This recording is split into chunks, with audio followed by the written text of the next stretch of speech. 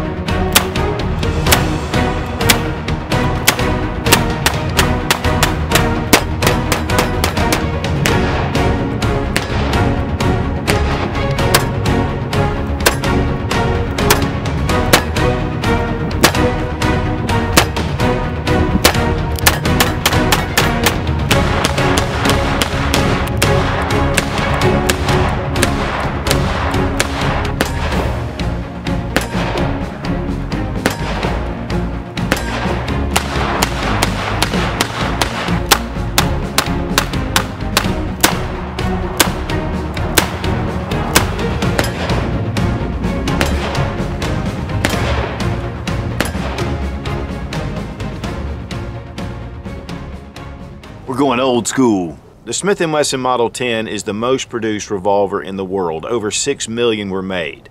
All the way through the 1900s and even today, these are still being produced by Smith & Wesson. A very solid firearm. Uh, they came with a tapered barrel. They came with, of course, this heavy barrel and a lot of other designs and barrel lengths in between. But this was actually the third handgun that I ever purchased. And so it really has a special place for me. Uh, one thing that I've always, though, wanted was a stainless steel version. So in 1970, Smith & Wesson introduced their Model 64. This was used by the NYPD from 74 all the way to 1993. This was the handgun that they used. And a lot of other police agencies all around. And definitely because of it being stainless steel, it was corrosion resistant and it was easy to maintain and so it made a really great firearm, uh, especially during those years when police carried revolvers. Now this Model 64 actually is a police trade-in. It came from AIM Surplus. Uh, and they get a lot of different police trade-ins. It's a good place to look for good used solid guns. Uh, I think at this point right now the Model 64 was in and already out of stock. But a lot of times they get these in at different times.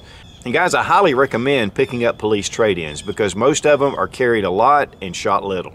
Now the Model 64 is based on the K frame. Has everything to do with the size of the frame. There's a J frame, a K, L frame, which are pretty close, and then the N frame is more for their larger revolvers. The K frame has been very popular for a number of years. Now this is a 4-inch heavy barrel, and uh, they did make a tapered barrel as well, especially on the Model 10. And so this gives it just to me a little more balance. It does add to the heft to it, but 38 Special is not really big on recoil. Now we're going to go ahead and push the cylinder, bring it out, push the cylinder latch, and it is empty, uh, very smooth. So one of the things about Smith & Wesson, and then when you want to eject the rounds, you just push out on the ejector rod. This brings the rounds out. Uh, but these are really in very good shape. Uh, sadly, uh, they are out of stock on these. They may be getting some more. But the big thing is with AIM is they always have different police trade-ins. And so it's a great source. I'm on their newsletter. I love getting different notifications of what they have in stock. Uh, this does have a synthetic grip to it. Um, it's not really a Hogue or Pachmayr. I think this may have been one of the factory grips that they just included. Uh, maybe even an Uncle Mike's. But um, it's good and solid grip. Uh, this is the square butt, which they did make a round butt, which is a little more concealable, but the this is more for service, combat, or target. Now this model in particular is the Model 64-8. Here you can see on the inside of the crane 64-8. Now this is the last version of the Model 64 uh, and there's some things that denote this from different ones. It goes all the way up from 1 to 8, and each one is some kind of improvement or change with the firearm. One thing that I really like about the Model 8, and actually all the way down to the Model 6, is that the firing pin is not attached to the hammer. Uh, it has a floating firing pin, and this makes it safe, drop safe, and two, the, the firing pin can get damaged if it's on the hammer. And to give you an illustration, we'll bring out the Model 10. Here we have the firing pin attached to the hammer. And so this is really the way that revolvers were made for a long time. So we've got it just there. It just makes it a little more vulnerable to me. But here we have the two side by side, uh, both heavy barrels. One thing about the frame is it looks really narrow here, but because of this grip, it covers up part of the frame. And so at first, actually, I was thinking this may be a bigger frame, but it's not. Uh, there is a little bit of a difference here with the cut. It's a little bit more pronounced with the Model 10, and there are some definite differences. Here with the uh, cylinder release latch, you can see it's actually a different style.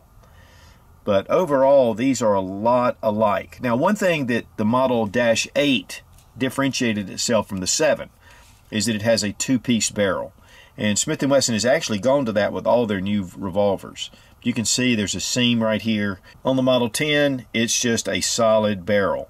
And so that is one of the differences as well. It is a six-shot revolver, as we looked at, and it is double single action. And that means that when you pull the trigger with a hammer down, it'll fire. It's a long trigger pull. It's fairly heavy. And then you can actually bring it back and pre-cock it, and this is single action. Crisp, very light trigger pull.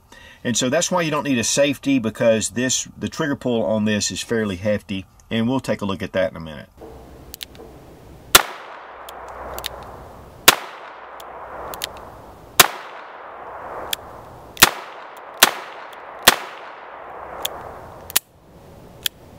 Here you have your ejector rod that is exposed. Some of the new revolvers actually have a shroud right here to protect it, but uh, have a little latch here fixed front ramp sight, and then we have just a notch on the back. These are combat sights. These are made to be quick and fast and snag free. The NYPD carried these for years, and it's one of the things that makes it really easy to draw out of the holster.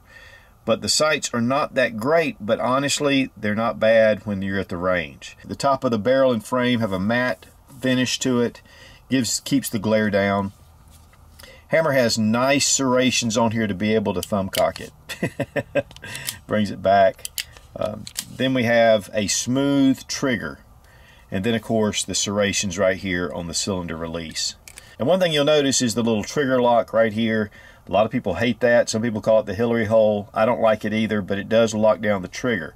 Uh, you can actually get a piece to replace it, a little plug, and you can remove the part. So there is a kit to do that if that really bugs you that much but you can see the finish uh, is actually really well done. Uh, and that's one thing about stainless. Even if you do have scuffs, you can polish it out or buff it out because that is the finish. We have Smith & Wesson on the barrel. And on this side, it says 38 Smith & Wesson Special plus P, which these are rated for plus P. Okay, we're going to check trigger pull weight with our Lyman trigger gauge from Brownells. Uh, hopefully, we can get a reading on the double action. Sometimes it's pretty stout. Here we go. 10 pounds, 7.1 ounces.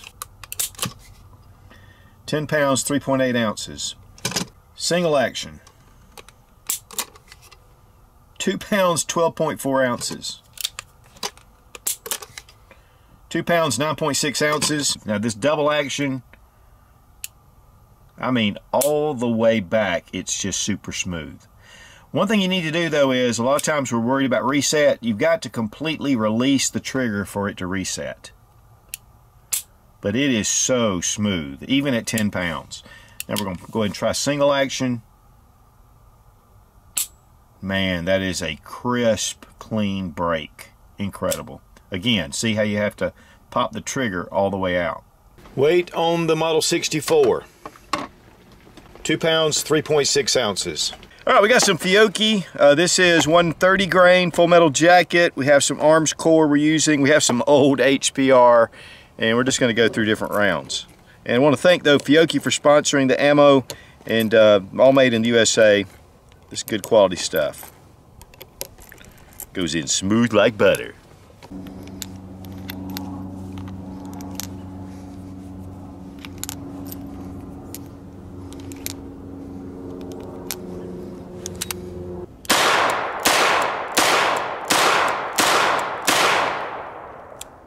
Now, as far as the range goes, this gun is all steel and it weighs quite a bit. So when you're shooting 38 special, it's not any problem. And then when you move it up to 38 special plus P, just comes back in your hand a little bit, but it feels better to shoot for some reason. It just kind of gives you a little more power.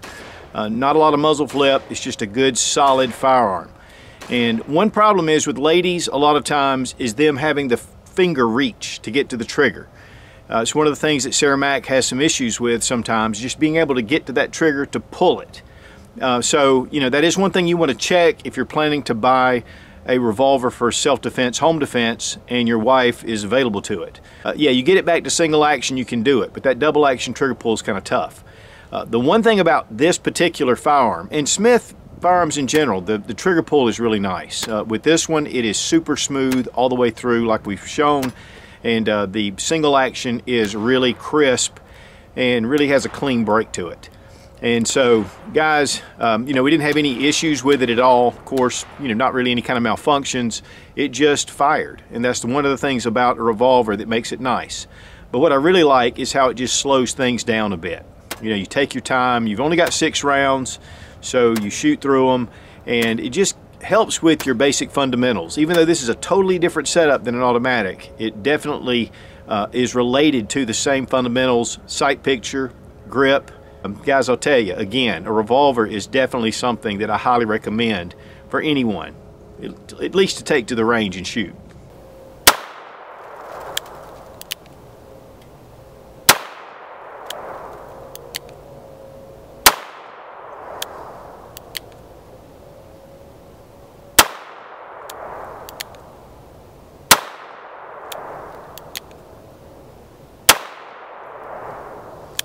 Now, one of the big reasons why I like police trade-ins is because the value you get for the price. Uh, these run on the Smith & Wesson website, 693.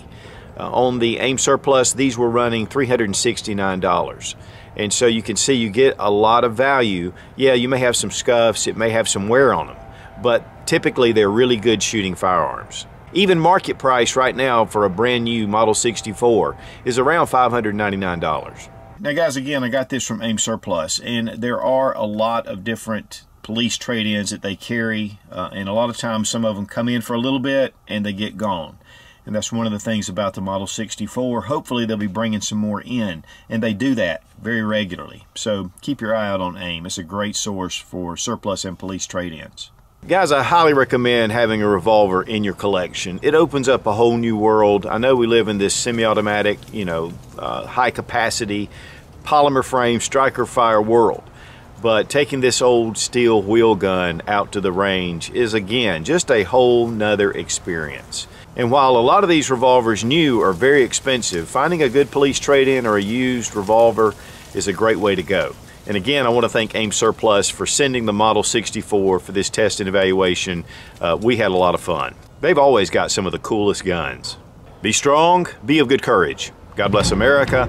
Long live the Republic.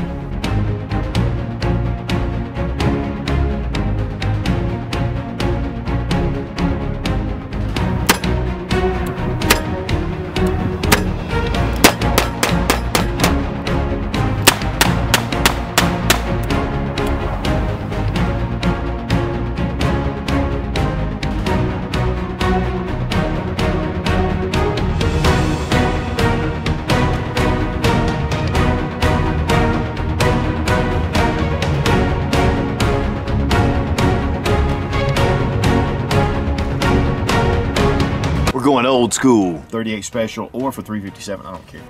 What am I talking about? I don't even really just saying stuff. That's nice. Robbie's big old shadow like, whoo! it's a UFO. It's a UFR, unidentified flying Robbie.